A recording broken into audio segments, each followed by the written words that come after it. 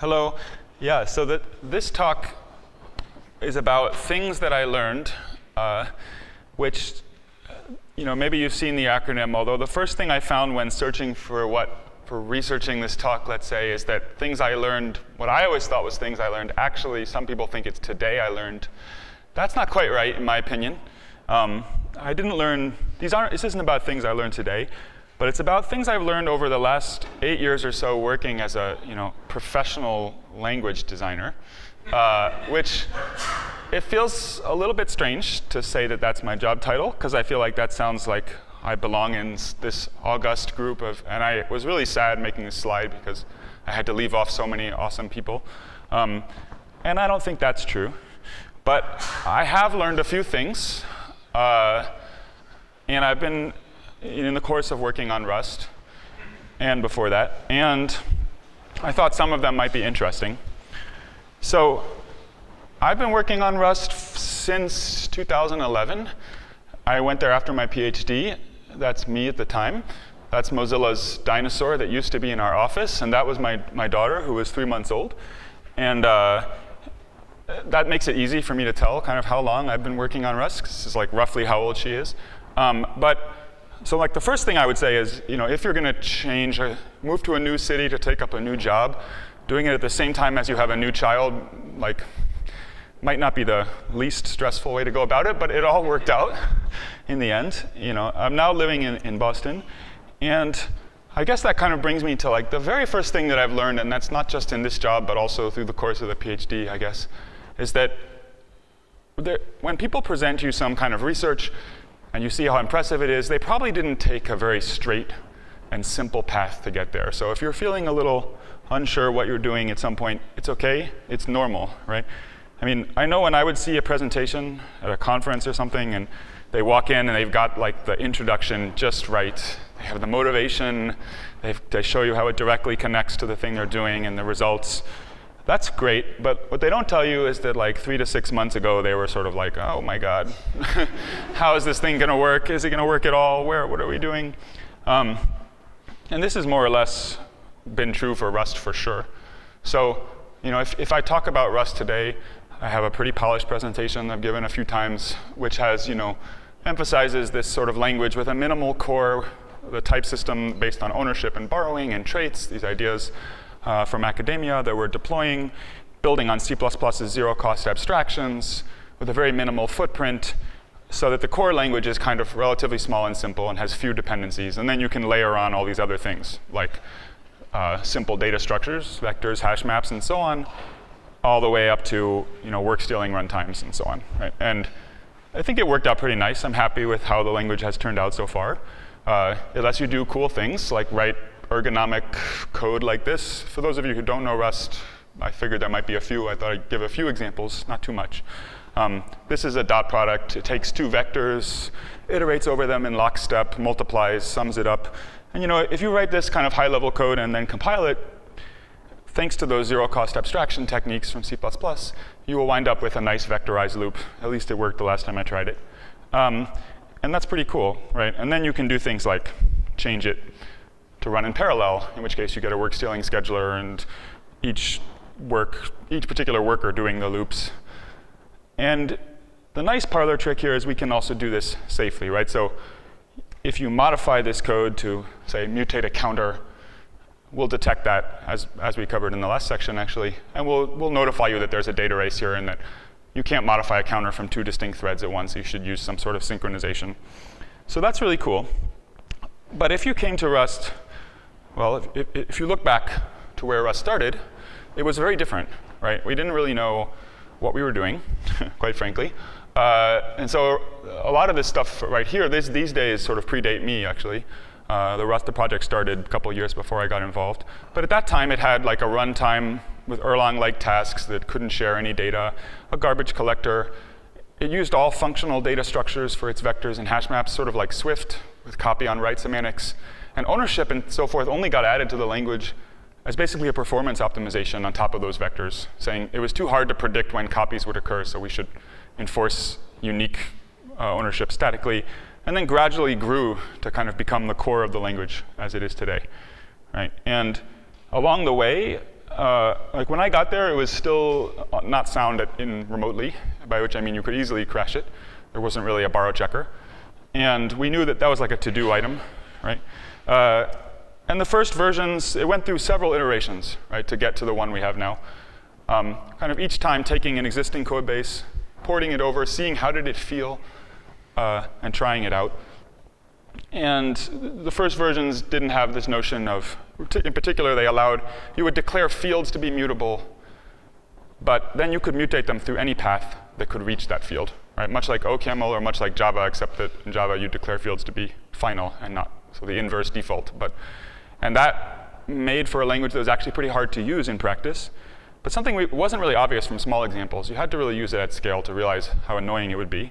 And the problem was that for example, if you were iterating over a, a vector, if someone's appending to that vector through some other alias, they're going to invalidate your iteration. So we required you to move it to the stack so that you knew, basically had to swap it with an empty vector or something so that we could be sure it was a unique path.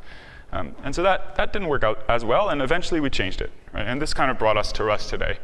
Um, and the system at that time was known by this crazy acronym, IMHET-WAMA, which we had a penchant for weird acronyms. It, it, came from my blog post where I proposed the idea.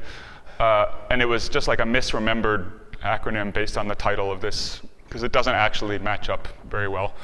Um, but it was fun, right? And so this is where Rust was. And, and it took us several years to get there. At the same time, we were iterating on other axes like generic programming and threads and runtime, uh, sort of gradually moving that runtime out into libraries and getting, taking threads out of the language, extending its capabilities for generics. And so the thing that was always true, right, was that we kind of had a pretty good idea of what we wanted to make. Something that was fast, something that was safe and correct, and that could actually be used to replace code in Firefox. Um, and I think that that's kind of the key point, is the path you take to the end result will probably be very windy, but it's good if you have a sort of general idea to lead you in the direction, right? And along the way, you should be really open, right? So I put this here about the code of conduct and so on. That applies to like a big open source project. But I think the general idea is that um, don't be sure you have the right answer. I try if people come with other ideas, listen to it, hear it out, uh, and try to evaluate it, right? And that's that's kind of my, my general take on research. And I was a bit intrigued because this sounds a lot like something that uh, I heard yesterday. I think, I think Anders present, presented it about my, my basic feeling for the only way to do research that's ever worked for me is something that I kind of call the research spiral for reasons uh, that I'll explain in a second, where you, you kind of have a goal, and you do something that's not very clear in the middle, right? And that not very clear thing is kind of, you basically just try to reproduce what already exists and try to do the thing you're doing and see, and somewhere along the way, some ideas come, right, that are different. A way, a differentiator, a problem that, you, that the other system had that you didn't realize at first that takes you in a different direction. Um, and I find this sort of relaxing because you don't have to know the, the whole path in advance. Um, the reason I call it a spiral is that usually in my experience, you start here, you kind of do something you're really excited about, it seems to be taking you somewhere, and you keep following it, and you sort of seem like you've ended up back where you started after a while, but hopefully, hopefully you're not exactly where you started, and you keep going, and it sort of takes you in. Anyway, um, uh, but one thing that I learned while we were going through this spiral on Rust is that, you know, there's this saying from, from uh, what's his name, Jobs, true artists ship, right? That at some point, you can always make it better, but at some point you have to sort of say, okay, we did something, right, that we can send out and try to get people to get excited about and, and use. Um, and it's, it's a little difficult because, especially I think language designers, we have this perfectionist tendency, which is what this GIF is supposed to get across, to always make everything better and find every little problem and see if you can, you can fix it. Um, but, you know, that just leads to essentially things never leaving your laptop in the end. Uh, and I think it's much better to put it out there, get feedback, iterate on it, and see what you can do about fixing it. Um, so one of the things that we did around 2014, we'd been working on Rust for many years, and it was clear that at some point, like, we had to declare this language stable, or no one was ever going to use it. right? Uh, and even though we knew there were lots of flaws and imperfections. So we had to come up with a system that would let us do that, part, take the stable parts that we were happy with, but keep working on the other parts and evolve it, right? Um, and so the thing we ended up with, I think, is a nice scheme. And if you're a part of a project that you know that you wanted to do a similar task, you might adopt something similar to it, which was basically that we had these, we have these release channels where we say, okay, the code is stable. We have a, a stable channel where you can go and get the latest version of the compiler. Um, it's released every six weeks, and everything on there is sort of guaranteed to be forwards compatible. That's because we don't allow you to access the things that we're not sure about. And those things that we're not sure about, you can, you can use only if you use the nightly release. Um, and that comes out every night. Uh, and not only do you have to use the nightly compiler, but you have to opt in and say, I want to use this unstable feature. I know that it might change under my feet and my code might stop compiling. That's OK. I, I want to try it out. Right? And the big, the big thing that we sort of knew we wanted these feature gates, but the big change that we made that was not entirely obvious to me was that you can only use them on nightly. So at first we thought, we will, we'll just let them be used anywhere. We're all adults here. If you say feature foo, then even though you're on a stable compiler, you know that you're, you're uh, you're opting into this instability. The problem with that was that then people can write libraries that encapsulate the instability for you, and that sort of you don't know that, you, that they're using in their library some feature gate. And that doesn't sound bad at first. It seems good. Encapsulation is good. The problem is that uh, if a new version of the compiler comes out, you as a consumer, you're using somebody's library. That library no longer builds because it was using an unstable feature. Now your code is broken because of somebody else's code, and it's just kind of a super annoying thing. Uh, if you're looking for stability, you don't want that. You want to all the way down the chain. So the kind of generalization here, so we wound up making feature gates infectious in this way. And I think I would say the generalization, the thing that I've kind of seen happen a lot of times, this is one example, is that, you know, it's good to issue warnings, it's good to tell people what's going on, but if you really think it's important, people don't care. uh, they got stuff to do, they got problems, they know that it's, it's serious. You need to send them like a strong message, one that is sort of unmistakable. Um, and so that's what the feature gates were aiming to do, and I think they've been successful. Um, and it's come up in other places too. Right? So we have, for example, uh, well, this is our message basically, right? The strong, the strong and simple message is, if you're using nightly, your code might stop compiling. Um, if you can use stable, you don't have that problem. But other places that this has come up, I would say, is around, for example, around bugs. So we have a policy that we try not to break your code, but we also have a policy that we like to fix bugs. And those things sometimes come in conflict because maybe our type checker was accepting something it wasn't supposed to, and you wrote some code that relied on that without realizing it. So what we do in those cases is if, if we find that there's a bug that we have to fix that affects a non-trivial amount of code, uh, we try to issue a future compatibility warning for a little while. And the idea is you'll get warnings. It'll say, hey, in a few, in a few releases or six months or something, this code is going to stop compiling, so maybe you want to change it. And these have been pretty successful, but they've definitely been subject to this problem of people wait. they, they know it's coming, but they're not inclined to act so promptly necessarily, right? And so we've often had to go on sort of proactive campaigns, going searching GitHub, finding people's projects, submitting PRs, saying like, we really don't want to break your project, but we are going to fix this bug. Um, it's kind of neat that we can do that. Like open source is, is wacky and cool. Of course, it doesn't work if, if you don't put your code out in the wild. Um, but it's been, a, it's been an interesting thing for us trying to keep this policy and how to get it sufficiently annoying, but not too annoying, and especially trying to avoid the problem of sort of, mm, I'm, I'm getting warnings about code that isn't really under my control and I can't fix them. I don't, uh, that, that happens sometimes if some of your dependencies, for example, are using features they shouldn't use. So there's a lot of considerations there. Uh, and the last thing we've done, which is not special to us, but it is definitely useful, is with something we call editions. So I said that at 1.0 we were going to declare certain parts of the language stable, but of course, over time you realize there's things you might like to do that, that would slightly break that. The simplest version is adding a keyword to the grammar. Now, if you add a new keyword and somebody had used it as a variable name, you, you kind of break their code, even though they uh, uh, doesn't seem, it seems like a very trivial change. So what we do there is we can basically tag Rust code with a version. So you can say it's 2015 Rust code, that's the default, the old stuff. Or 2018, that's the new stuff. And that toggles whether something's a keyword, right? Java does something similar when they introduce the enum keyword, for example. And many C++ compilers have this. Um, but it's been a pretty nice, I think we're, we're happy. We'll see, we've only done one so far. Um, but we plan to be using these editions not only to group together changes, but to tell a larger story about sort of how Rust has evolved. Um, anyway, uh, so that's kind of the history of Rust and some of the project management side of it. But I wanted to go a little bit into some of the things that came up in the design of the language itself that they weren't very obvious to me to start. Right? I think, um, and they're not things that arise necessarily totally naturally from a, from a, like a core calculus that you might not see it. So one of them is to think about versioning. And by versioning, I, I don't mean versioning of the language necessarily, but rather what happens to code as it changes.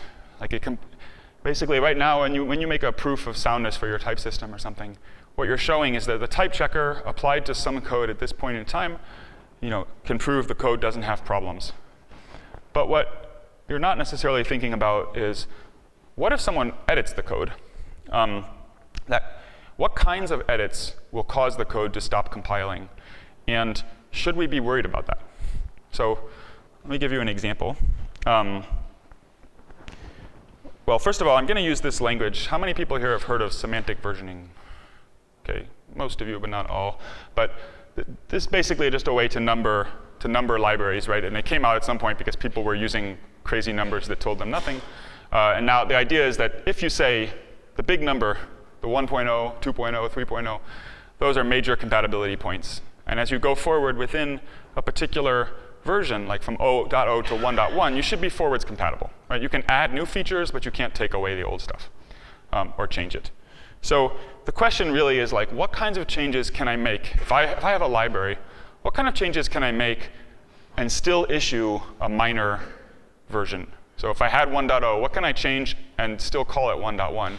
And when do I have to call it 2.0? Because I broke potentially some of my clients. And this is kind of a tricky thing to answer. Like this, this spec is sort of a template, but it doesn't really answer that question. Like if you fix a bug, do you need a new major release because now you change the behavior of a function that used to exist? Probably not, but maybe, depending, right? Um, so one place this came up for us, I think the first time that I sort of actively noticed this, uh, had to do with traits. So Rust traits are similar to Haskell's type classes, or they have really, basically a trait is kind of like an interface in Java, if that's more familiar. Right? It defines a bunch of methods and operations that a type should support. And so you can say, for example, I have a hash trait for things that are hashable, and then I can have my hash set, and it can take any key as long as it's hashable. Right? And when I, I then define or implement this trait for different types. So if I have a, well, here I made a struct named u32. I don't, I don't know why I did that, because that's Rust built-in integer type. But let's say you had a struct with some name, like u32. Then you could implement hash for it, right? And then you're just defining your, your hash. Um, and uh, and so the, the, the problem is we only want, we want to know, part of Rust design is, is that for any given trait and any given type, there should only be at most one impl that applies, right? So if you think about hash sets, it wouldn't be very good. You don't want to have two different ways to hash the same type, because if you did, then, for example, I might construct a hash set using one of those techniques, um, and then I might take that hash set in some other place and try to use it using the other hashing implementation. And if they're not the same, then you know, the values are, I mean, I get, I'm not going to find things in my hash table that I was supposed to find. And so we called this the hash table problem when we were hashing it out, no pun intended. But like, it's a well-known problem. Uh, and in, in, Haskell, they call this coherence, and we've sort of adopted this term too, that basically that you want to have a, a coherent notion of what a hash is, right, that holds together across your whole program. And you could do this in various ways, but the way we chose to do it was to impose a global constraint that says you can't ever have two impls uh, of, of the trait for, for the same type. Right? And this is like a key word, this global constraint. Anytime a constraint applies across all, like the entire program and all libraries, there's a, sem there's, there's a sort of semver hazard, as we'll see. Um, and the, the, the, basic idea of this is kind of simple. You say, OK, well, we so we have these things called crates. They're just libraries, just modules like distributed separately. And you say, OK, within one of those crates, we can just check for overlap. We just look at all the impls and make sure they're not the same. But across crates, we'll use this thing called the orphan rule. And what the orphan rule said is, basically the crate must define either the trait or the type. And it, that, that means that any given implementation, you can kind of tell where it is. Because if you defined the trait, then there can't be anything, wherever you got the type from, it can't have supplied the implementation because it didn't know about that trait. Well, we have a DAG relationship. That's important. But if you define the type, then similarly, nobody could have implemented the trait because they didn't know about your type. Right, so this seems sufficient. Um, now, this, this will catch, you know, the, the tricky part comes in, it's not so much the orphan rule, but this part.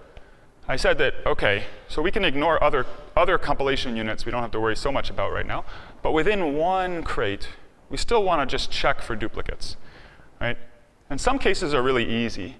Like if we just write the same thing twice in a row, uh, obviously overlaps.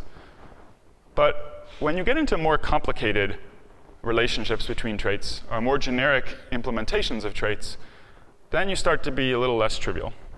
So imagine we had a trait for things that can be converted into an integer. And we called it as u32. And then suppose we implemented hash for u32, but separately, we implemented it for anything that could be converted into an integer. Now, this, so far, just this alone is actually just fine because we never actually implemented the as u32 trait for u32. So indeed, you can't convert a u32 into itself. Uh, so these two impls are disjoint, and we can accept them um, as not overlapping. Right? But there's a kind of that's a little surprising. Maybe we, maybe we released this as version 1.0 of our library, but it's a little bit surprising because um, we probably did intend to implement the as u32 trait for u32. We just forgot to do so. And then if we were to add it at some later time, then we would create an overlap between these two impulses that were otherwise OK. Uh, and that's the kind of scenario that we were getting worried about. So actually, I got a little ahead of my slides. But um, the idea was initially, or we added support. Basically, we wanted the ability to write these kind of flexible impls that said, initially, we only supported really simple things like this. And we wanted to add support for these more flexible kinds. Right? And we did that in an RFC uh, which is our way of proposing and describing changes. And we were kind of ready to ship this for 1.0 when we realized this problem that I was describing to you. And in particular, we realized that the way that this problem would manifest. So if you imagine I have a crate, the first crate, are, these are, imagine these are two different libraries. And the first one defines this trait and defines some type, but doesn't implement the trait for the type. And then in the second one, we define the trait hash, and we implement it for anything that can be converted to a U32. And then we implement it for this type also, because this type doesn't implement as U32, and we want to make it hashable. These are all allowed by the orphan rule, and there's no overlap. Right? There's no problem here. But now the problem is this original crate, maybe they would like to implement that trait for my type, right, in their next version. And so, so essentially, now what would happen if we allowed this as a minor update, if they said this is version 1.1, is that crate 2 would stop compiling, right? Um, and that, that seemed bad because we knew sort of the definition of a minor update should be that you extend your functionality, you just do more. But here, we were just extending the functionality of my type so that it could be converted to integers. And yet we broke people's code downstream because essentially they were, they were assuming some negative reasoning. Right? They were basically assuming in this bit of code that's only allowed because we know that that type does not implement that trait. Um, And so what we did, what we wound up doing is applying similar logic, uh, the orphan rule logic kind of here again, and saying you can't assume that some type does not implement a trait unless you would be the one to supply that impl. Right? So if, if you own uh, either the trait or the type, then you can make that assumption, but otherwise you can't. Um, and that was this proposal, re-rebalancing or rebalancing. But what's, it came out in March, end of March. You probably can't read, but March 31st. And we released 1.0 in May. so you can see it was like the last minute, I was like in the shower or something, and I said, oh my God, if we do this, people are just going to be stuck. They're not going to be able to add new impls to any of their libraries. Um, that's not going to work. Or actually, I think the way it came up, no, I remember now. It came up because we did this. We added an impl to a type and broke people's code. And I said, wait a minute, something's wrong here. We should be able to do that. Um, so, so this is actually still a problem, I would say. I'm not very happy with our coherence rules. Um, so maybe another thing I learned is, you know, global constraints are just hard to balance out. Uh, this is a place we're still iterating, but I think at least we have the, the basic shape right. right? Um, and there are some other examples that came up around this. So like in earlier versions of the language, one, one of them has to do, so, so Rust has this notion of ownership, which we saw, that if you have a resource with a destructor, it, it has moved from place to place and the compiler tracks who owns it. But we also have types that are not owned. We call them copyable types, like integers. But also you could you can imagine you want not just the basic integers, but like maybe this struct point, which has two integers in it. It should also be copyable. I mean, that's, that's just basically a 64-bit integer.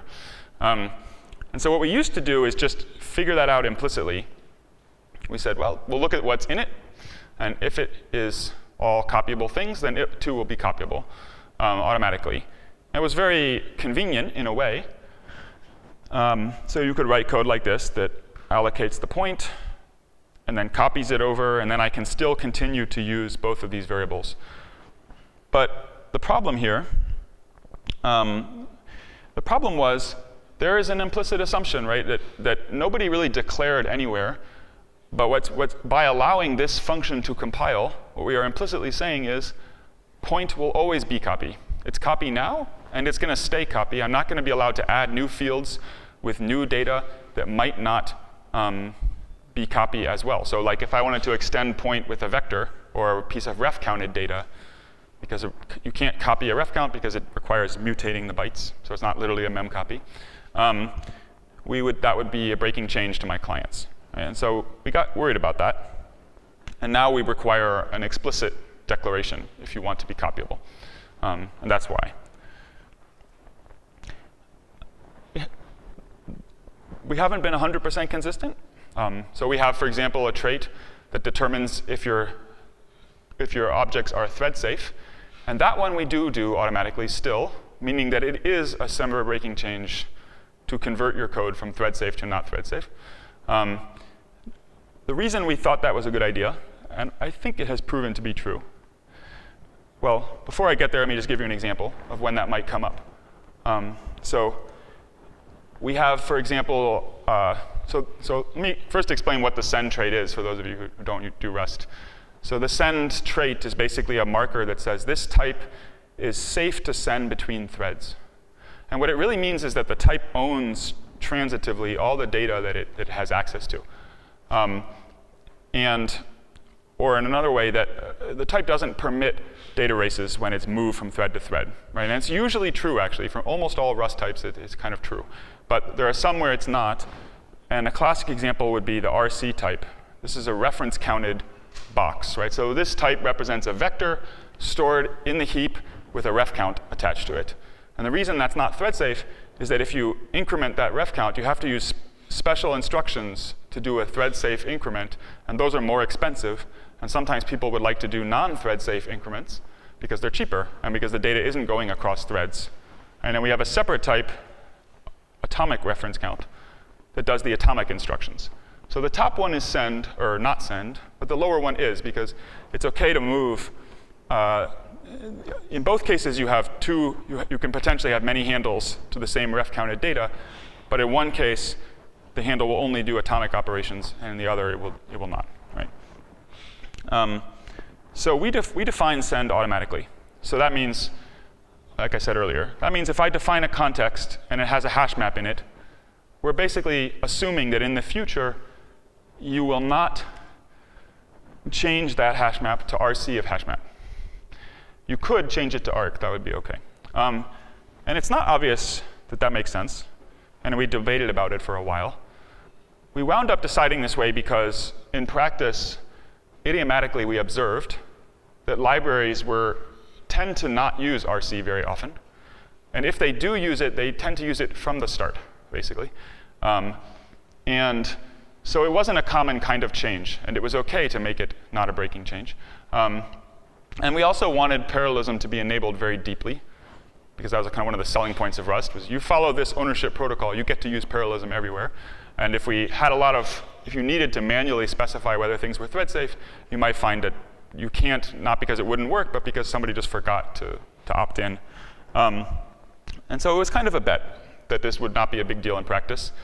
I would be interested to go back, and I haven't done this, look over the data now that we have data, of how often do people actually make changes uh, that break this. But what I can say is I've never heard anyone complain very much about it. so that at least means it's not, it's worked out OK. Um, there's a lot more versioning cases. Uh, and I think there, I think it would be nice to try to elaborate on what are the what are the criteria you should use whenever you have to make a decision like this? Um, and how can you see them ahead of time and realize what the danger is? Uh, so another thing I learned is that simple is kind of in the eye of the beholder. Um, maybe I sort of knew this already, but I, have I've gained some appreciation for it. And what I mean by that is that, you know, it, it's obvious, I guess, if you think of like the lambda calculus, it's, it's very simple in the sense that it can be defined in like three lines of LaTeX.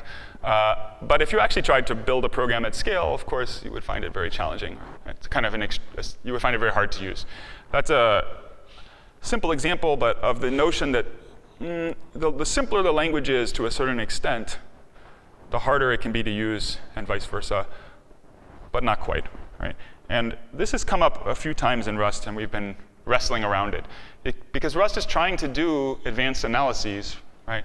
And many of us had experience with using tools like, I don't know, Coverity and things like this, so these kind of, uh, or, or Valgrind, these sort of approximate analyses that come in, analyze your, your program, and, and point out possible bugs to you, but they're, they're always over approximations, and you can't quite tell why it's suggesting this to you sometimes, right? It'll say, mm, maybe there's an uninitialized memory here. And maybe it's right and maybe it's not, but you have to sort of figure out why did it think that that might be true and is it possibly really true? Um, and so we wanted a system that would be simpler than that. Right? The part of the appeal of a type checker is, yes, it's an approximation, but its mechanism is sort of clear to you so that you can actually refine the program and not get errors. And we started out, so we, we talked about borrowing a little bit earlier, but we started out with this, this borrowing mechanism that was sort of coarser than necessary because we thought it would be easier for people to use it since they would understand it better. The mechanisms were simpler. In particular, if you borrowed a value and, say, stored it into a local variable, the borrow would extend all the way till the end of the block. Right? So I create a reference to v, and it would extend all the way till the end of the block when p goes out of scope, even if we're not using the reference again, right? And in this case, we never use the reference at all. Um, and the idea was basically that the scope of a borrow, the, the lifetime, the, the, length of a borrow, was always tied to blocks and lexical structure of the program. Um, and that seemed simpler to me it did not seem simpler to anybody else, I think, who tried to use Rust. Like, what would happen in practice is you would get this intuition for, OK, I get it. So long as the data is shared, I can't mutate it. But then you would try to, here you would say, but it's not shared. I don't understand. Like, why, why are you giving me this error? And it's exactly, I think, this problem that, uh, or an instance, it, it was exactly, the experience was very similar, I guess I would say, to the coverity thing, which is kind of that in practice, you couldn't quite tell why it was telling you that anyway. And so I think my, my conclusion from this was that simpler is good, but not at the cost of precision. uh, somehow. There's like some kind of balance you have to strike. It has to be sufficiently precise to match the intuition that people have. So we've changed this. It turned out to be really, really hard to change, much harder than I expected. Took us like two years or more, many years actually. But it's now changed. It seems, and now we now have a much more flow-sensitive algorithm, uh, and hopefully we're going to get more sensitive still. The reason it took so long was a combination of, it turned out that this was implementation challenges, so using these lexical blocks was a lot faster and simpler to implement, and that there were some other things in the analysis that it, some other, they kind of, because they were so over-approximated, they masked some other challenges that arose when we tried to make them more precise. So I think it was probably an OK call to start simple, but it, it was not easier to understand, right? It's easier to just have a notion of that includes control flow uh, and so forth. And something else that we've learned over time um, is that error messages are really the first teacher and often the only teacher I think that people get, right? We like to imagine, I guess, that people are sitting down and taking out the Rust book and starting from chapter one and reading all the way to chapter 10 or whatever and, and understanding everything in, in, precisely the order that we intended for them to learn it. But actually, right, they're just, they just want to get started no matter what happens, right? They want to write some code. Uh, and I'm the same way. Like, every time I, I uh, get a new computer or something, like, for example, I try to use PowerShell on this Windows. I have no idea how PowerShell works. 25% of the time, my commands do what I expect, and I have st still yet to read the manual, right? Um, so we've been trying pretty hard, and I think it's been paying off for us to put a lot of effort into our error messages. Maybe you can read this, maybe you can't. I think this is one of the ones that most directly tries to teach people. So what it does is, it looks, we have this, this println thing in our compiler, which is like printf in C. It sort of prints out uh, you, it prints out strings, and you can embed, you can use placeholders like saying, you know, put this string here, put this number here.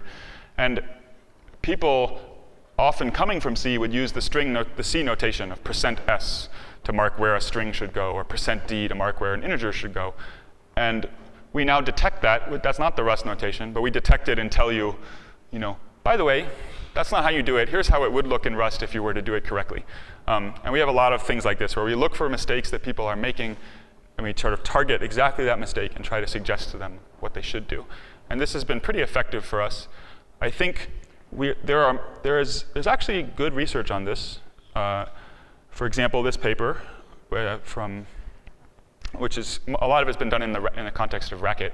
And it shows some places where I think we could go and haven't gone as well as we should. Um, like the importance of looking over all the vocabulary that you use and making it consistent uh, and checking whether people actually understand when you say things like function definition, what a definition is, right, which a lot of people don't, um, and helping people map these concepts. So I think this is really cool and exciting. Uh, I would like us to do much more, but, but I'm proud of like how much we've done so far. And one thing you'll note, if you can see this, one part of that was we just spent a lot of time changing how we formatted our error messages, right? Um, and it was a good investment, I think. But so another thing um, that I've learned or relearned over time is you should really desugar in your compiler. um, so many compilers will teach you this for sure in like a compiler course or something, that you can gradually lower your representation uh, and simplify your program into, into simplifying constructs. And that seems like pretty basic knowledge. However, people often don't do it as much as they should. And in particular, the Rust compiler, at least when I got there, there was a kind of ethos that we don't do that, right? which I found surprising at first. But the reasoning was your error messages will be less good. Uh, basically, you're going to start expressing your error messages in terms of the desugaring and not in terms of the original program. And, uh, and that is true. That is a hard problem. But the result, but for, for much too long, we kind of kept this, even as the language got more complicated. And the result was that we just had all of these really subtle bugs, um, many of which were not obvious to me that they would arise at first. Right? So I think, in particular, around the flow-sensitive, the borrow checking kind of logic, the checks that your ownership and borrowing is correct, we hit these problems because what would happen is I had implemented a sort of abstraction that would essentially construct a control flow graph, essentially do a, a lowering, just for the purposes of the analysis. And it would, it would construct this from the AST, and then we had that representation. But then separately, we would lower the AST down to LLVM IR later on and execute. And sometimes the ordering of those two didn't match like we thought it would. Um, so we would have, uh, I don't think we ever actually had this bug, but you, you, know, you might have, especially around match statements, you might have bugs where uh, we would fail to, to recognize a problem just because we were not quite realizing the order of operations. And so in this case, the problem would be I've constructed an option with a string in it, and I'm matching a borrow of that, which means I'm basically getting out a reference to the string that's inside the option. And then I'm overwriting the option with none.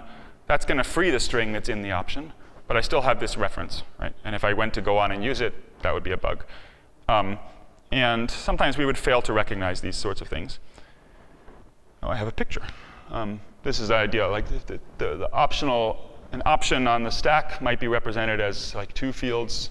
Actually, it would be one, but because of optimizations. But uh, and we'd have a pointer to the data that's inside it, right? Um, so what we do now is we introduce the new IR that we call MIR, the middle IR. And the idea is that before we run our analysis, we'll, we'll desugar this match so we're going to convert it to these really simple operations. In particular, where we used to have this big tree structure, we now have a bunch of tests. So we'll say things like load the discriminant, basically load whether this is a Some or a none, is it, is it is there or not. And then if it's one or the other, branch to the right place. Yep. Sorry? Uh, yeah. So so the question was, does it work with nullable pointers? So what, the thing is that we optimize for these options. If you have an option of a nullable pointer or of a reference, that can't be null. So instead of storing that as two words, one that's like, is it there or not, and then the pointer separately, we just collapse it into one, and we use null to represent the case where it's not there. Right? And we'll actually do that quite, quite uh, deeply. So if you have an option of a string, inside the string is also a pointer to the character data, and we might um, we might use that instead so it doesn't take up more space? And the answer is, yeah, it does. This is, the MIR is, uh, that's basically part of the discriminant operation, is loading the discriminant knows if it has a different representation, it's kind of abstracted away. Um, but the nice thing about this is we have this one source now that encodes the control flow in a pretty simple way, and we can check it for correctness, and we can also generate code from it, like the LLVM IR, and we're not going to make these same kind of mistakes, right? Because it's so close to both of them. So that was really useful to us. Uh, it's actually, we're still transitioning to this. This closed, I don't know how many bugs. Um, I mean, most of them were very obscure. You had to do a lot of work to reproduce them, but it closed probably like 10 or 20 bugs uh, of subtle ways that you could get the control flow messed up. And we're still now in a warning period about it, actually. So I was mentioning those future compatibility warnings Right now what we do is we run the new checker, and if the checker thinks your code is OK, then we let it go. But if the checker thinks there's an error, then we run the old checker. And if the old checker also thought there was an error, then we'll print the error. But otherwise, we print it as a warning. Um, so it's a little bit, sometimes we have to really work to produce these future compatibility warnings. But um, so as a side note, like I think doing these desugarings, one thing I've been finding very useful is expressing them in basically logic programming wherever I can. Anytime I have an analysis, if I can express it as Datalog or something like that, it's much easier for me to iterate and play with it. So if you haven't messed with, with logic programming, I think you should, uh, especially if you're doing program analysis. Even if you don't use it for your final implementation, um, it's a nice way to iterate fast. And I will highlight Souffle, especially as I have some Oracle people here, but that's OK. I don't think you have, I don't know if you have anything to do with it, though. Uh, because it's awesome and a really great tool for, so like when designing this analysis, this, this, this new version of the analysis, I remember I was on an airplane or something, and I was able in six hours or whatever to go through like 10 different drafts because I was doing it in Datalog instead of taking forever. Um, but actually, desugaring I would say the experience from doing this desugaring has been a little bit mixed, right? I've been telling you how great it was. We closed all these bugs. But it, it can have effects you don't quite realize that also have to do with versioning as it happens, in a way, um, which is sometimes your analysis might be more precise. You might be encoding things into your desugaring that you didn't necessarily intend. Um, so you have to be careful that your target is the right level of complexity. So here's an example. This is a match on some data. Um, but the interesting thing about it is not the match, but rather these guards. Right, so what this, what this guard will do is say, if foo is Some, I'm going to run this code and see if I should take this branch. And what that code does is it frees the vector. That's what drop does. So there's some vector on the stack up here. I'm going to free it. And then here, we'll say if foo is Some, I'm going to, and the vector is empty, then I should do this.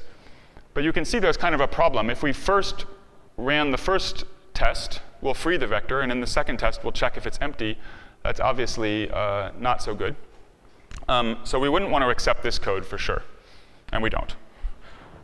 But what about if I reordered the arms? Um, well, let me go back one, one more iteration. What about if I just reordered the arms here?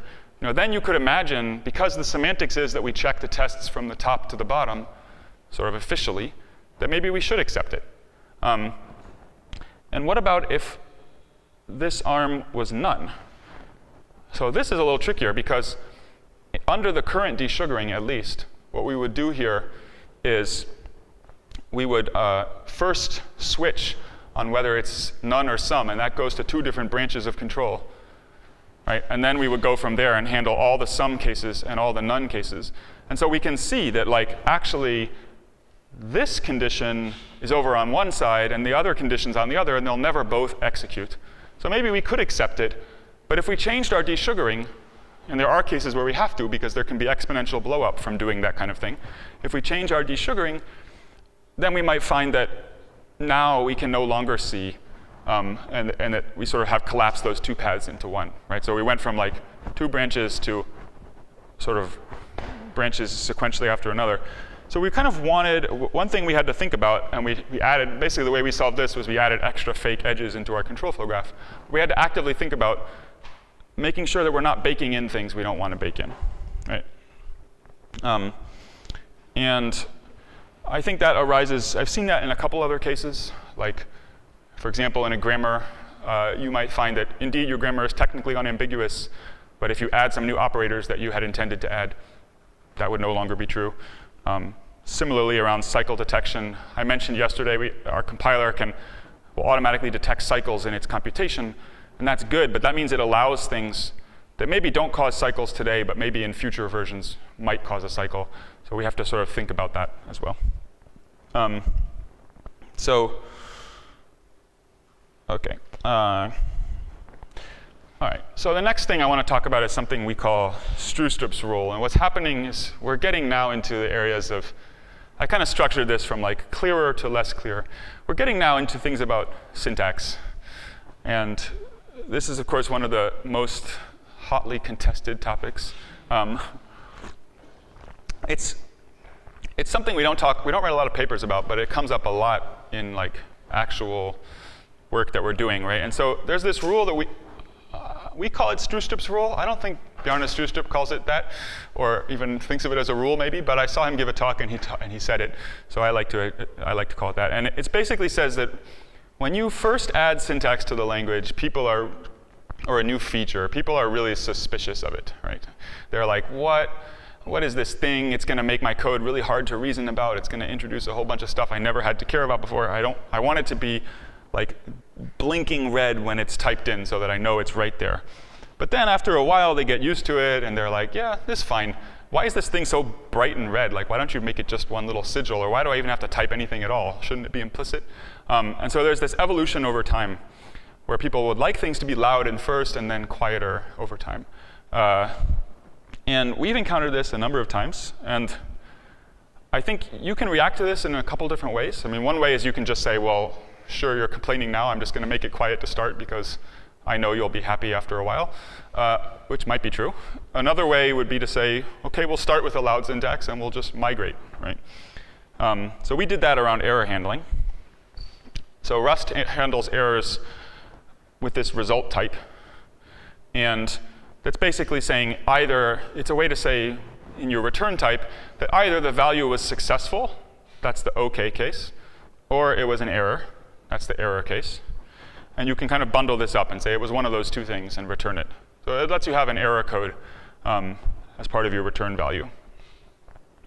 And a really common pattern then, so maybe I have some function that's going to process some data, and it's going to return either an integer on success or some error in the error case. Right? And a really common pattern uh, when I'm invoking functions like this is that I want to, I want to kind of propagate, oh wait, hold on, back. I want to kind of propagate the error. Right, so here I have two functions, process data and read data. And read data reads some data and gives it to you, or maybe gives an error. And process data then takes that data and processes it, right? And so a common pattern is that you would write something like, I'm going to match on the result of read data. And if it's an error, I'm going to propagate the error because I failed to read it. But otherwise, I'll process the data and do something to it. Right? And if you've used Haskell, you will say this is a monad, and you will be right. Um, uh, and so this, this, this is really common. And what we were doing in practice, well, first we were writing things by hand like this, and that was really tedious. Um, and somebody had the good idea of making a macro. And so we made a little macro called try. And it would just encapsulate this match. Um, do the match.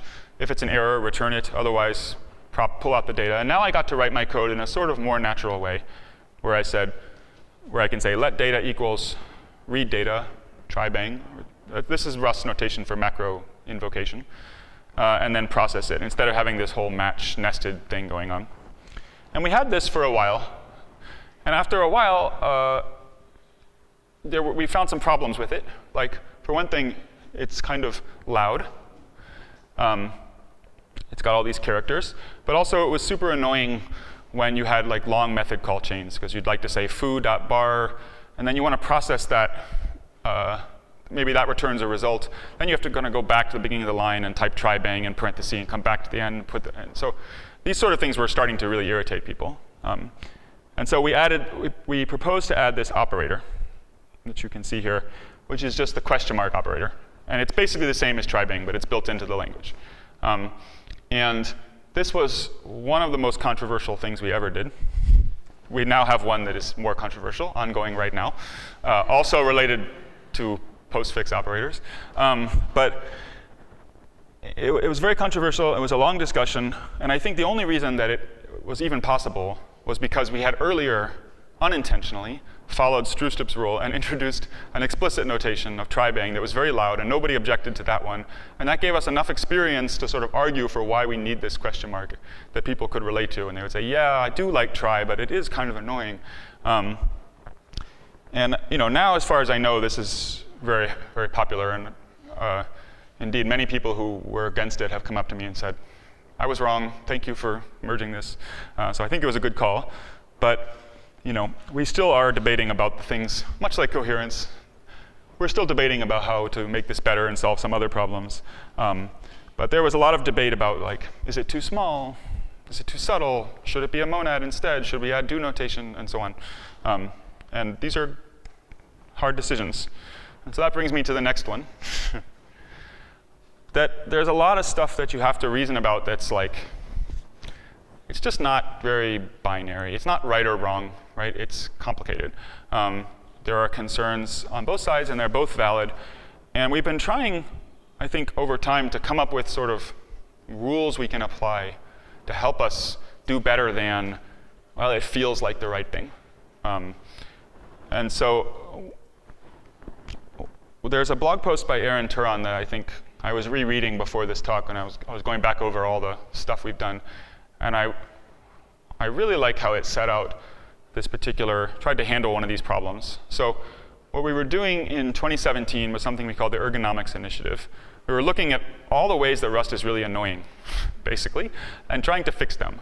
Um, and we had two aims. We wanted to get, we wanted to make Rust nicer to use for people who are experienced, but also, very importantly, we wanted to look for things where new users would come and hit a roadblock and just bounce and, and, stop using the language. Because what we had found was that people, once they got over the hump and they sort of knew how to use Rust, they were very happy. But um, we were lost a lot of people on the way. And so we were looking for sort of win-win situations where we can take what is to an experienced user just a like paper cut, but to a new user a possibly fatal problem and, and get rid of it. Um, and this was very controversial because it's exactly Stroustrup's rule, I suppose, or I don't know, somebody else's rule of whenever you sort of take things, it seems like just making things that used to be very explicit implicit often raises a lot of fear. Um, and so what we, we were trying to figure out was, can we do better than talking about explicit and implicit? Right? These are things that people toss around a lot, and it, they mean very different things to very different to everybody. Um, but can we kind of decide when is it OK to make this notation more concise or less visible, and, and why? And so we, we wound up with three axes to think about when you're, when you're trying to weigh a decision like this. And one of them was applicability. So it basically says, how often does this come up? And how, how many places can you elide information? And is there some kind of way for you to know that information was elided or not? Right? Uh, another one is power. Like, how much does it really matter? Is this information important to understanding what the program, like what effect it will have? Or is it kind of side information that maybe controls maybe its performance or something that's a little less central? And finally, context dependence, which is basically how much, how much do you have to know about the surrounding program to figure out what was elided? Right? Is it very local, or do you have to go look up structs or deeply measure things like that? And the idea is uh, that all of these, ideally, all of these should sort of be small. but if, if any one of them is very big, then the others should definitely be small. And if you find that they're all kind of big, that's probably a bad, uh, bad call. Um, and so we can go through some of the examples, like the question mark sugar. You know, you could use it in a lot of places, but it was explicit. There was still an actual question mark to see. So you knew that a return might be happening there. So we said its applicability is kind of small, but the power is pretty high because actually it can cause the function to return, right? It can completely change the control flow of the function. Um, and the context dependence was kind of medium because there actually is a little information. I didn't, I didn't go into all the details, but we have some ways to adapt the error types. So they don't have to be an exact match. So you have to know something more than just this local expression to know the full effect. You have to know the return type of your function, for example. Um, so it's kind of medium, not too high. And this, this felt like a good change, right? It had something very high, but the others were not high. Similarly, we do, we do function local type inference, which means that we, um, we, we require you to say the types of all your parameters and your return type, but within a function, we'll, we'll do pretty deep inference. And this is different than, say, Haskell or ML, where they will infer things across functions. Right? And the reason was, before we had these criteria, was that we had basically experienced that it's, a lot, it's very confusing sometimes to have the body of one function, a, some change you make there leads to a type error in the body of another function. Um, and we wanted to avoid that. And we also wanted to avoid some of the sort of problems around recursion and so on, decidability and recursion. Um, and so, but looking at it through this lens, it, it kind of makes sense, right? So it has a pretty, it's definitely not a low applicability. I guess I would call it medium or maybe even high, because there's lots of types that get, that get elided. Um, but the power is also very high, because it matters a lot what types you have. Um, but the context dependence, that's where we really ratcheted it down, right? By saying you should be able to figure out from the, the surrounding code in your function and the things you're calling uh, what the types are, essentially. And you don't need to go and look into the body of other functions, right, um, to figure things out. So I think this is an example where it, it, it, it helped us to understand. I mean, I guess we already sort of did, but it helped us to say it a little better. It's also an interesting one because um, I think you could argue, and I think it's true, these things are kind of all kind of high. There's nothing low here. And that's probably why type, type inference remains a thing that can be kind of confusing. Right? Even with these changes, plenty of people get confused about why is that the type of that variable? I don't understand. Um, and I think that makes sense. But it's also so freaking useful that it's worth it. But uh, so that, those are sort of our rules for how to deal with ergonomics and so on. But one of the other things I've learned that's a little more uh, fundamental in some sense, is that the things that you come across that are like what seem to be at first really insurmountable trade-offs that are just intrinsic to the problem are often not really. I mean, there is probably a kernel of a trade-off there, but it's, it's probably not quite what you think it is. Um, so it's kind of like this, right? You, you think you've fully understood the situation, but then somebody comes along and suggests that like there's another side to it, another like third way. uh, and I think the error handling is, is actually an example of this, right? This question mark operator. And many languages have sort of come to this conclusion that when we, if you look at error handling, the history of it, going back, you know, you first have like C or whatever, where you had explicit error codes, and they, they were very clear in some sense about what would happen in the case of an error. It's just a normal if. You could understand the semantics very clearly, but they was really wordy and it was easy to forget to use them, and they had these problems. And so then I think was include at first, but exceptions were added, and I think the premise there is, you know, you can't forget to use it, first of all. The error will propagate. And secondly, you get to look just at the happy path, and that's really good. But lately, there's been a kind of pushback because it turns out it, it can be hard to reason about code where random like where execution can just kind of stop any old place, and you have no sign that it's happening. And lately, I think a lot of new languages, so Rust and Swift, I think also Midori, which never saw the light of day, but was from uh, MSR, I guess. I think MSR, Microsoft Research, um, have come around to this idea of, well, maybe we can go somewhere in the middle and have something that feels like exceptions, but, but there's some sigil, right? And it's, in a sense, it's kind of a third way. It seemed, I think it would be easy to conclude, well, you have to pick. Either it's totally explicit or it's um, totally focused on the happy path, and th those are the options. But actually, there's another way, right, where you can be a little bit explicit. And it, it feels like it, it, it, steers a nice compromise. Um, and the whole premise of Rust, I think, is based on this. Zero cost abstractions, they're the same kind of idea that you shouldn't have to pay a tax. Like, normally, you, you, you basically find in a lot of languages that the more abstractions you add, the more layers, the slower things get. Right? And we would like to try to reverse that if we can. Um, that's the whole idea or of zero cost abstractions is to say you can add these layers, but they're not actually going to make your code slower because they're going to compile away. Mostly works. Um, I think it, works very well for things where the API closely matches what you want to do.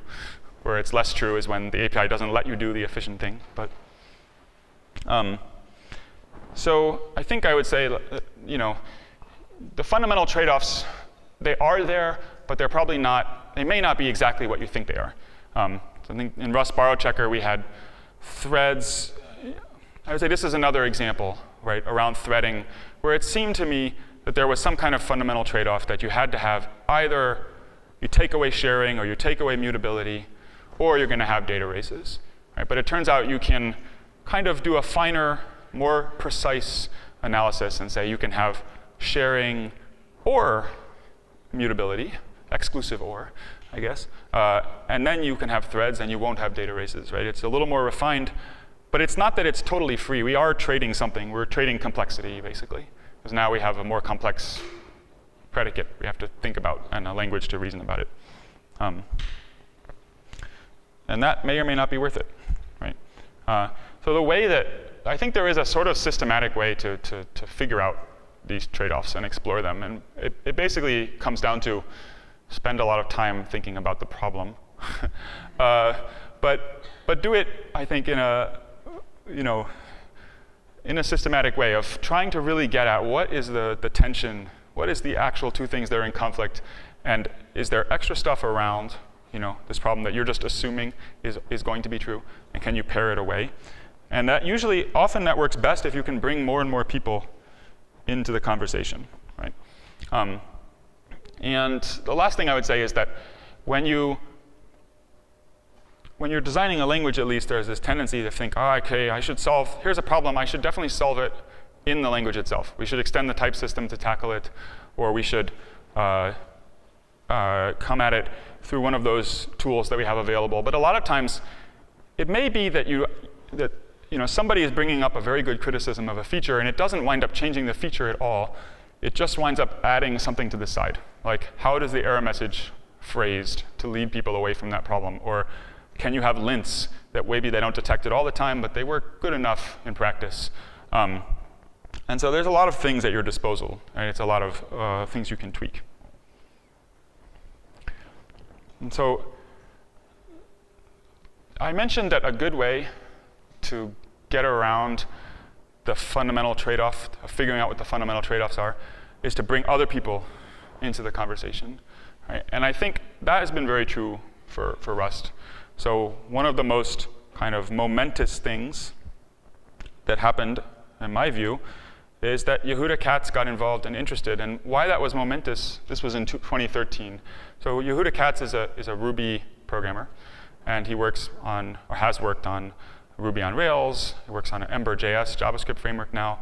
And one of the reasons that that was really important was that the rest of us were C++ programmers. Um, and we had a certain mindset, right, that, that we had brought from there. But, but Yehuda took a different view. Um, and I think kind of one of the best parts of Rust's like, message has been that oh, we want to try to bring together a lot of different strands, right? Uh, kind of like this. We want to take, you, I don't know if you all saw this cartoon in your youths, probably not, but that's okay. We want to have sort of, yes, Rust people, but C++, JavaScript, academics, new developers, you know, all putting these, these ideas together and like bringing, uh, creating a superhero, I guess. I don't know. I'm getting a little carried away. Uh, but you get the idea. Um, you know, greater than the sum of its parts kind of situation. And this is something that we call, or that's often called pluralism, right? And the basic idea is that there's not really a single authority uh, on what is correct. There's just a lot of them, and they coexist. Um, and it's not easy to do, right? So sometimes it feels more like this than the superpower thing, where everybody's like really working hard for the thing that they love, and in the end result, yeah, you just sort of get nothing. Everybody falls down. Um, and so one of the trickiest parts uh, has to do with trying to convert it, right, to be more like this, um, where this is sort of the feeling you get when that fundamental abstraction that you thought, that fundamental tension turns out to be less fundamental than you thought. You, you kind of get this pleasant surprise. Um, and so, oh, I have a lot of dog pictures. I forgot. I think I meant to take one of these out, but that's OK. I like this one a lot. when it's all going right, it should be like this um, you know, where things are sort of all working together surprisingly well.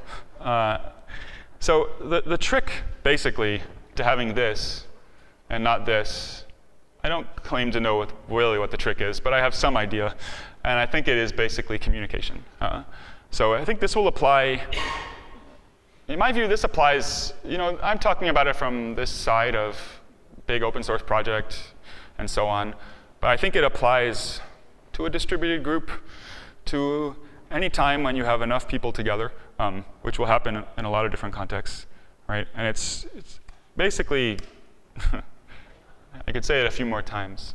Um, communication helps. A lot of times you have things in your head that are clear to you, but you're not really laying them out, or you have a vision for where you want it to go, and you might ask for help, but not clarify that vision, right? And the end result is you get things that aren't really quite what you expected them to be.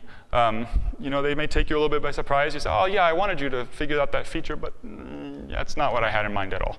Um, so there's a few slogans that we have that I find really helpful around this, um, just to keep clarifying. And one of them is articulate the vision, uh, which is basically saying you should figure out, take that high level view, of what you think your research is about, what you think your project is about, and put it out there, right? And make sure that you're, you're telling people.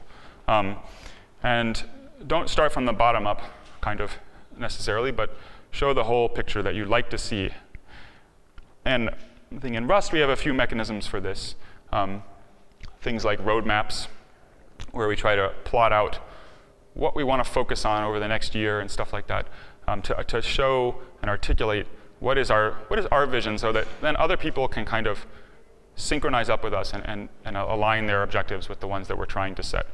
Right? And one of the things that comes up whenever this happens, whenever we talk about sort of mm, this maybe is specific to, to running a big open source project, but whenever you want to get out there and ask for people to tell you what they think is important, there's a sort of a tension and a fear of like, but what if people suggest crazy things? What if I'm saying what I think is really important here and people don't agree with it? What am I going to do? Um, and I think what I've kind of learned is you just have to not be afraid of that. have, like, that's a good thing if people are telling you what they think, and you should be able to make your case. And if your case is, if you are correct, uh, then you know, it, people will listen. Um, and if you are not correct, then maybe you should listen, right? And there's plenty of times when I make a case and I realize, I think I was wrong, actually. So part of that, part of making a case then comes down to this other rule that we, we use, which we call no new criteria. And so the idea here is if you're having a debate, there, there's, a, there's, a, there's a bad thing that can happen when you've got a lot of people discussing something and a small set of decision makers, where the decision makers read over the thread and they go to a meeting and they have a discussion and they come up with, they say, oh, these are some good arguments, and here's some more arguments that we find, and these are really persuasive to us. So then they come back and they post the final decision and they say, well, we decided to do X, we realized a lot of people wanted Y, here's our reasons. But these are new reasons that were never seen before. Right? And we had this happen in Rust. That's what the context of this quote, which I'll tell you in a second, was that it's a very important decision. It, it, actually is in a way. We were trying to decide what to call the integer type. Uh, and we used to call it int. And people didn't like this because all the other types were called i32, i64. They didn't tell you they were related to the size, and int was, was, was not. And there was a lot of debate about if that was OK or not.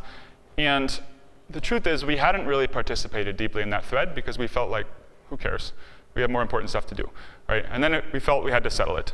Um, and so we came in and we came up with our reasons and we posted them. But we never really engaged in that discussion, right? And there was a lot of pushback. And one of the people who pushed back wrote this that said, basically said what I just said. You never came to this thread. You didn't really take seriously our arguments.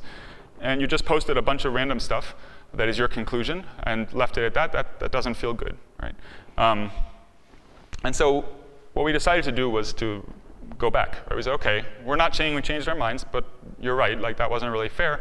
And we re-engaged. And in the end, we did change our mind. Um, and the, the types are now called isize and usize because they represent the size of a, of a value. Um, and I think that that's kind of come to be our process, right? That we use meetings and offline things uh, to explore the space, to take the arguments, to make new arguments, and bring those arguments back, or, exclusive or, to make a final decision, maybe. You know, uh, but not both, not at the same time. And it, this is something you see in a lot of decision-making processes you can often call like a final comment period. That's another way to get about this. Basically saying it's important to give people time to point out why you are actually wrong. Uh, and the thing you thought was a killer argument is just ill-founded, um, because that happens. And one of the things I'm really interested is now, which is related to that, is just trying to make sure that we understand everything. Right? So a lot of times there are really long discussions that cover a lot of different topics. And you might think, well, there's a long discussion thread, that's enough, that's documentation enough. But actually, it's really good to take and summarize all the things that were said in that discussion. Right? And that applies whether it's three people in a room or 100 people on the internet. Take it and bring it, gain some structure and the conclusions. And what I like to try to do is separate out sort of the facts that are relatively clear from the narrative, which is like why given these trade-offs, given this thing that's better and that thing that's worse, why I would pick this one decision, right? Um, it sometimes uh, it works pretty well. Um, and I think while we're on the topic of communicating, like a really hard challenge if, has to do with basically allowing people to follow along. If you want lots of people to be involved, you have to accommodate the fact that many people can't follow every minutia of your, of your design iteration. But they would like to come in at some later point and get an idea of what the big picture was, where are you, how are things going. Um, and that kind of progress in plans has been an interesting and challenging thing, trying to figure out how to communicate that, how much time to spend communicating that. Um, I think it's not something we do very well at right now. Like if you don't follow closely, you can get lost. I get lost all the time, so even if you do follow closely. Uh, and that's something that I think we hope we will improve. So the last thing I'll say good advice maybe is people sometimes are really rude, and it's a shame. Uh, and, and we try to not encourage that, but if if you find yourself in a situation uh, where you know you're you're debating with someone in this way, the thing that I found really surprisingly helpful is just to pretend they're being nice. Basically, look because a lot of times they they're upset not because uh, I mean they're expressing themselves poorly, but there's often a reason that they're so upset. Right? Something got them that mad, and maybe it's reasonable and maybe it's not. But um, but you should try to figure out what it is, and you should see if indeed they have some technical, like, if you're, if you're trying to make a technical decision, is there an actual good argument to be addressed? And you can address that. And what I would say is I think this rule applies if you're like the leader of an open source project, say, hypothetically. Maybe not so much if someone's yelling at you on Twitter, then you should just block them. Uh, you don't have time for that. But like, so that's this part, I guess. Um, but I think this is a this is also something that has applied to me in, in my life a lot. Once I started trying to be calmer on the internet, um, I don't know. I remember walking down the, no, driving down the street, and some guy came running up to me and was like, "Why did you pull out of your driveway so fast? There's a school over there." And I, I don't know. I wanted to yell at him, and then I thought, you know, he's actually right. so then I told him I'm sorry, and he went away, and it was great. So I don't know. I think this is like keep your calm and try to focus on what is actually being said and if there is something there. So, the last thing I'll say, I think, is that a phenomena that, that happens, I've seen a lot uh, in, in different open source projects, basically, but also in different parts of the project, uh, is that there's there's decisions that seem really important, so important that you don't want anyone else to make them, but not so important that you should make them right now. uh, they're not top of your list. And maybe that's okay. Like maybe they can wait. But a lot of times it would be better if you could just let people take that space and, and at least give them something to do in that space so that they can make it happen. Right? Maybe it's draw up a design document or a white paper or whatever. Um, and don't sort of get in the way of their being able to do anything at all. And I think failure to do this is often what leads to people being so angry a lot of times, right? Because they're just feeling stymied and frustrated. So um, that that kind of brings us to, I guess I would conclude this like little section on pluralism by saying, my feeling is projects don't need a dictator. You should embrace that there's a lot of people with a lot of ideas. Uh, but I won't deny that like it's super useful to have someone who makes the final decision. Um, so there's, there's a lot of ways to attack this, and I think it applies in a lot of places. But, um, but consider pluralism. So that's the last slide. Uh, the last thing I learned. Anyway, thanks a lot.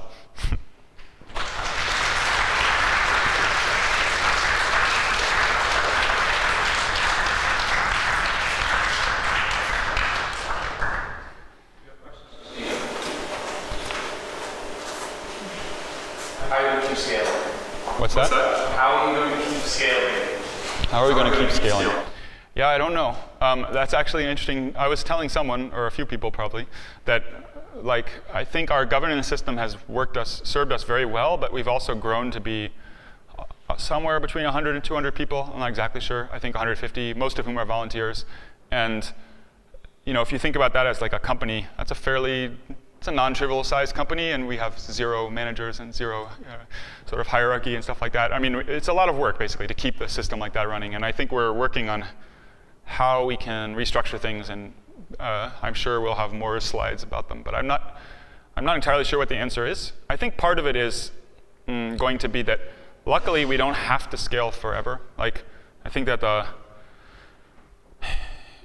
basically, I think we can slow down a little bit. Right? There was there was a period running up till now. We've been sort of trying to do all the things that we would need to do to get the language to be usable by and really adoptable.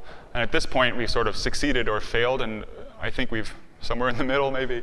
Uh, but but we can we can basically the core things you really need to use Rust. The biggest blockers are done, and we're working on improving it essentially. And so we can take our time a little bit, and that helps.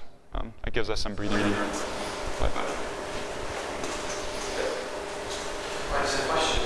Uh, you mentioned that you know whenever you want to check if there's a breaking change, you inspect all the you know the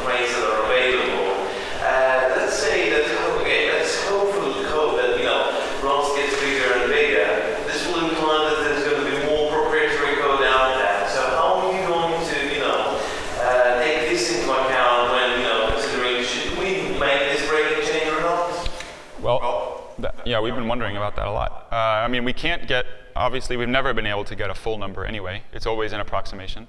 So one, you might think, well, it's probably proportional in some sense uh, to the code we can see.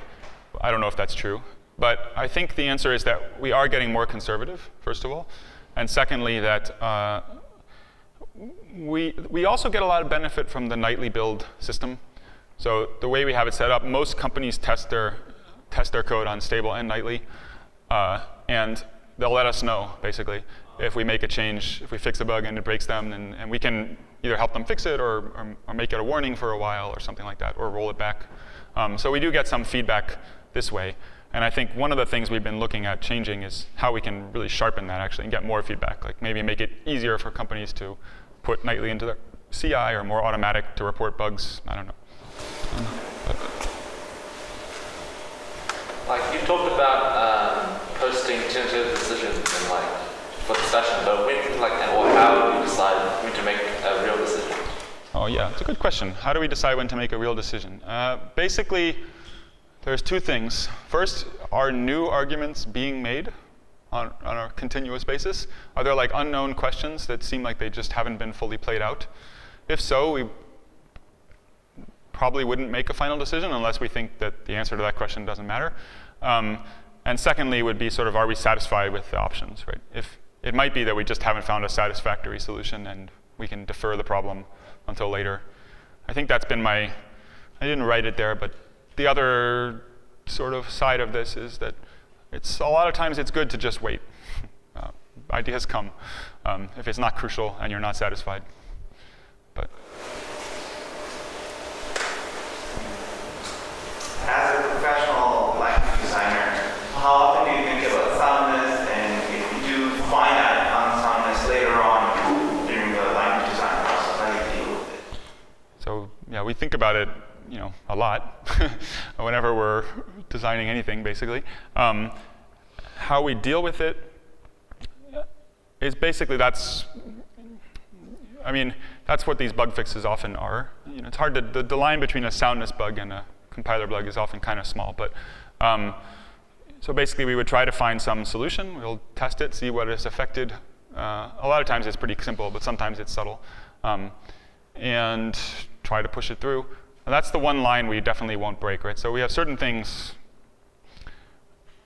we will do no matter what, and if it's a soundness bug, ultimately we plan to fix it. Uh, we do have some bugs that have been open for a while, though. So I think there's, there's a sort of real-world impact question sometimes, um, but we usually, those are definitely priorities for us. What would you change that you need to do in a new language? you're not prepared to break. What would I change if we were? What would you do? So there must be some things you'd like to do that are just too big change. There's a lot of things. uh, I mean, it's hard to say for sure, but I think I would. I sometimes feel that we, like, I think it's good that we had all this iteration in the beginning. We were basically, in some sense, resisting adding the features we wound up adding, and I think we proved to ourselves that we really needed them to do what we needed to do. But uh, but I wish we could spend more time on sort of, I wish we had been able to spend more time really trying to improve the, the mental model, sort of make it as smooth and easy to learn as possible. And I think there are some things we could do. It's a little bit hard to know because until you do them, you don't know. But don't, I don't know, I could give you specific examples, but like I think I would try to make borrowing mm, a little more of a mode, for example, so that as you access if you go through a reference to a field, like say a.b, and a is a reference, then b would also be borrowed. So it would be the equivalent of what today is ampersand a.b, um, which would be something like, there's a term from ownership types in object-oriented languages like viewpoint adaptation. I think it would feel a lot like that. And I think I would try to eliminate some things that exist today, like there are some toe stubs around for example, you can have a reference to an integer, an ampersand usize, which is pretty much exactly the same as an integer. like it cannot be mutated, uh, but it's a pointer, right? But a pointer is the same size as an integer, so it's really not a very desirable type to have, but it arises out of the composition because of the way that the, type system is set up, and I might try to just make that not possible, because it often leads to these annoying mismatches where you have like, I've got a vector of pointers to integers, and I want a vector of integers, and now I've got to copy it over. Um, but I'm not sure exactly how I would do that. uh, so. Thanks.